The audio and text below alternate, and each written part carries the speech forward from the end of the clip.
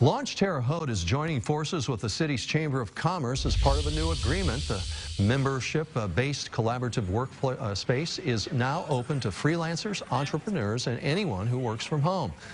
The mission for both organizations will stay the same, and members can expect expanded benefits as well as some additional opportunities. Both boards of directors are pleased to create a business hub that goes a long way in helping the community.